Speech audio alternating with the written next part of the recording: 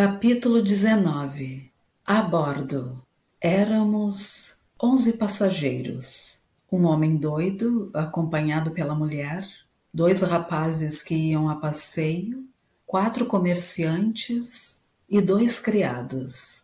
Meu pai recomendou-me a todos, começando pelo capitão do navio, que, aliás, tinha muito que cuidar de si, porque, além do mais, levava a mulher tísica em último grau. Não sei se o capitão suspeitou de alguma coisa do meu fúnebre projeto, ou se meu pai o pôs de sobreaviso. Sei que não me tirava os olhos de cima. Chamava-me para toda parte. Quando não podia estar comigo, levava-me para a mulher.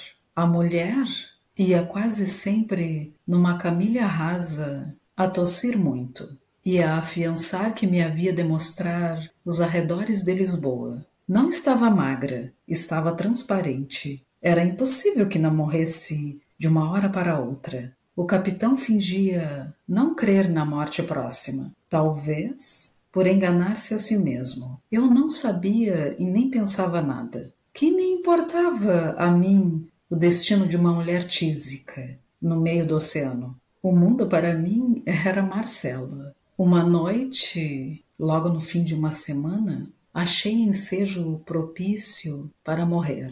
Subi cauteloso, mas encontrei o capitão, que junto à morada tinha os olhos fitos no horizonte. Algum temporal? disse eu. Não, respondeu ele, estremecendo. Admiro o esplendor da noite. Veja, está celestial. O estilo desmentia da pessoa assaz rude e aparentemente alheia a locuções rebuscadas. Fitei-o. Ele pareceu saborear o meu espanto.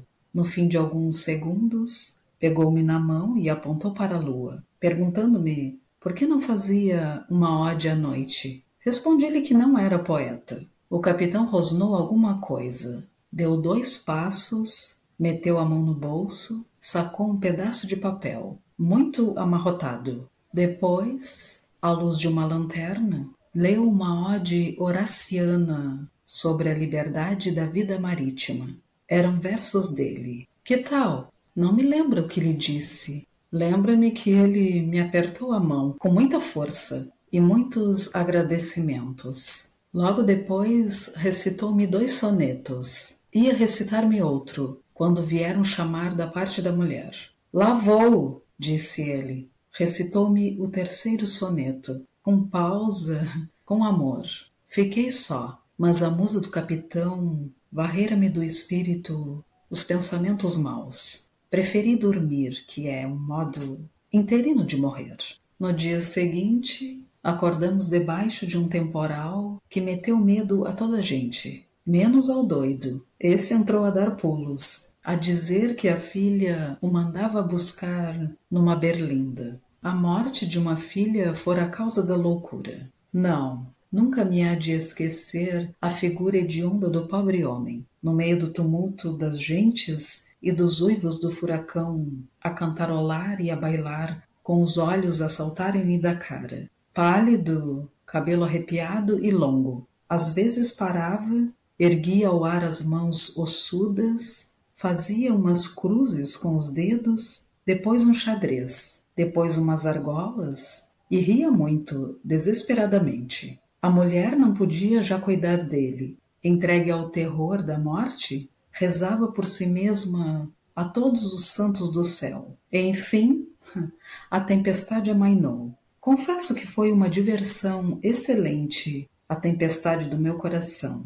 Eu, que meditava, ia ter com a morte. Não ousei fitá-la quando ela veio ter comigo. O capitão perguntou-me se tivera medo, se estivera em risco, se não achara sublime o espetáculo. Tudo isso com interesse de amigo. Naturalmente a conversa versou sobre a vida do mar. O capitão perguntou-me se não gostava de ilídios piscatórios. Eu respondi-lhe ingenuamente que não sabia o que era. Vai ver, respondeu. E recitou-me um poemazinho, depois outro, uma égloga, e enfim cinco sonetos. com os quais rematou nesse dia a confidência literária. No dia seguinte, antes de me recitar nada, explicou-me o capitão que só por motivos graves abraçara a profissão marítima, porque a avó queria que ele fosse padre, e com efeito possuía algumas letras latinas. Não chegou a ser padre, mas não deixou de ser poeta, que era sua vocação natural. Para prová-lo, recitou-me logo de corpo presente uma centena de versos. Notei um fenômeno. Aos ademanes que ele usava eram tais, que uma vez que me fizeram rir, mas o capitão, quando recitava, de tal sorte olhava para dentro de si mesmo, que não viu nem ouviu nada. Os dias passavam e as águas e os versos, e com eles ia também passando a vida da mulher.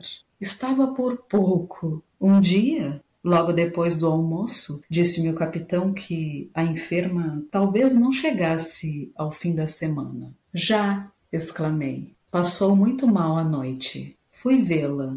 Achei-a, na verdade, quase moribunda, mas falando ainda de descansar em Lisboa alguns dias, antes de ir comigo a Coimbra, porque era seu propósito levar-me à universidade. Deixei-a. Consternado, fui achar o marido ao olhar para as vagas que vinham morrer no costado do navio e tratei de o consolar.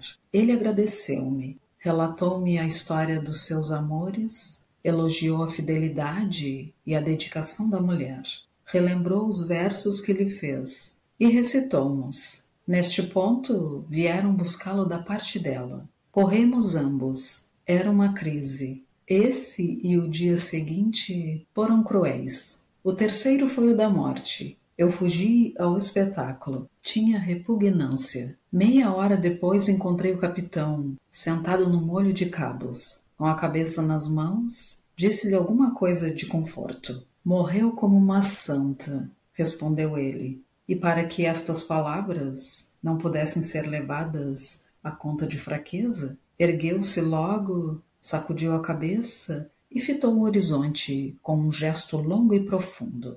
Vamos, continuou, entreguemo-la à cova que nunca mais se abre. Efetivamente, poucas horas depois, era o cadáver lançado ao mar.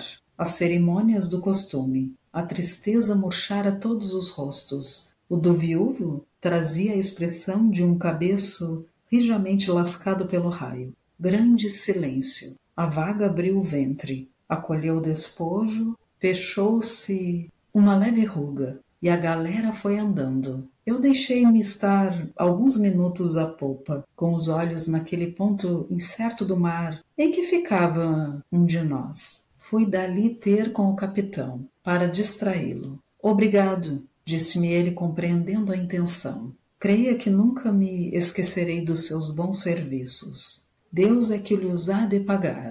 Pobre Leocádia, tu te lembrarás de nós no céu. Enxugou com a manga uma lágrima importuna. Eu busquei um derivativo na poesia, que era a paixão dele. Falei-lhe dos versos que me lera e ofereci-me para imprimi-los. Os olhos do capitão animaram-se um pouco. Talvez aceite, disse ele, mas não sei. São bem frouxos versos. Jurei-lhe que não. Pedi que os reunisse e nos desse antes do desembarque. Pobre Leocádia, murmurou sem responder ao pedido. Um cadáver, o mar, o céu, o navio. No dia seguinte, veio ler-me um epissédio composto de fresco, em que estavam memoradas as circunstâncias da morte e da sepultura da mulher. Leu-mo com a voz comovida de veras e a mão trêmula. No fim, perguntou-me se os versos eram dignos do tesouro que perdera. São, disse eu. Não haverá estro. Ponderou ele no fim de um instante. Mas ninguém me negará sentimento, se não é que o próprio sentimento prejudicou a perfeição.